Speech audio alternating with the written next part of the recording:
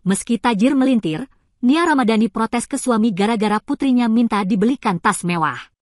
Lahir dari keluarga kaya, Mihaya Bakri, putri sulung Nia Ramadhani dan Ardi Bakri sudah memiliki selera fashion yang mahal. Gadis cilik berusia 11 tahun itu bahkan sempat meminta dibelikan tas Chanel kepada sang papa. Nia Ramadhani yang diberitahu sang suami pun kaget anak sulungnya itu sudah minta tas mewah. Chanel? Kok udah di situ kelasnya? Tanya Nia ke sang suami. Meski bingung, ibu tiga anak ini menduga biaya pembelian tas tersebut akan diambil dari uang jajan anaknya, namun ternyata tidak. Nggak, kata Ardi. Dia nggak dikurangi, tanya ibu tiga anak itu lagi. Bukan. Tadi aku janji sama dia. Nggak tahu, dia udah mulai gede, yang. Bingung, ungkap Ardi.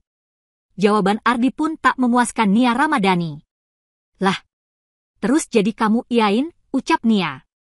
Ya kan tadi aku bilang janji itu kan pengin juga membelikan anak yang cewek kan, kata Ardi. Beli tas Chanel? Ih belum umurnya lah, protes Nia Ramadhani. Download Tribun X sekarang. Menghadirkan lokal menjadi Indonesia.